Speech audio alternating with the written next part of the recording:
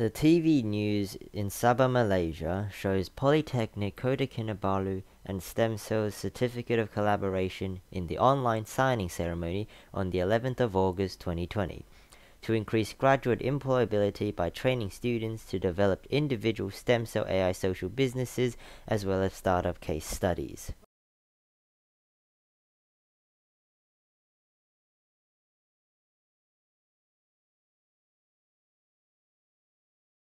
Um, next, we're going to then uh, hear from uh, Mr. Uh, Akmal Hossain, who's actually um, a co-founder of the FAA World Travel and Tours Tourism Company, to um, talk more about this opportunity of the tours. Uh, my name is Akmal Hossain. I am the co-founder of FAA World Travel and Tours, SDN based in Malaysia.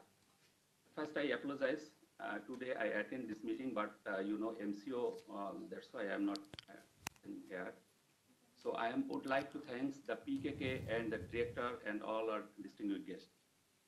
I am still happy to help the PKK. My job is to bring tourists to Sabah, and I am connected to tourism board in Sabah. We have appointed Dr. Payne, honorary chairman to our and Tours to use AI to help tourism and help the making apps the hotel. Such as apps for hotels, 63 in KK to send the message out there to the customer, tell them that we will train their children for free to make AI apps.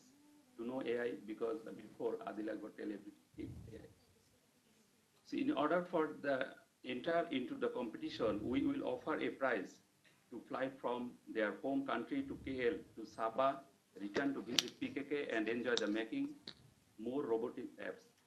So I'm not uh, talking any, many things. So thank you everyone and thank you very much. Thank you.